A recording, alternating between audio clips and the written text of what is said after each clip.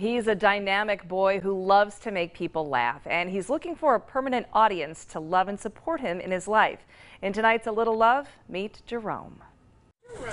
Hi, Jerome. Nice to meet you. Nice to meet you, too. You ever done a zip line before? When it comes to adventure, 13 year old Jerome is all in. Recently, he put that bravery to use, tackling the zip line in Gorilla Grove at Kalahari Resort in the Poconos.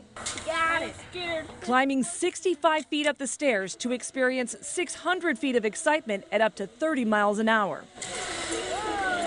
Back on the ground, we get to know the softer side of him someone who's caring, thoughtful, and kind. Look for birds and feed some birds, like feed them raisins or like rice or bread. Aside from his love of the outdoors, Jerome loves to play video and board games. Pamela Mansfield, permanency specialist at KidsPeace, says that's when his competitive side comes out. He loves games. If there's like a family game night, um, he loves board games. Um, he likes winning. He, I think every time I go to see him, we have to play a game, and nine out of ten times he beats me. Jerome also enjoys school and is very smart. In fact, he recently made the honor roll.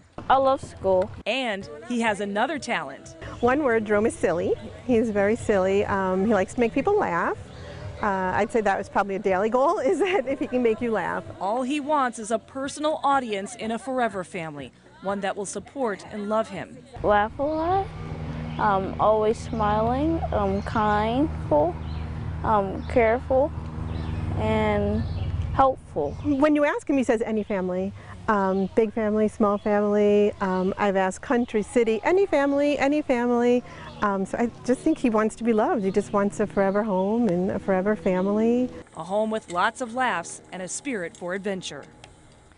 For more information about Jerome and the statewide adoption network, visit pahomepage.com.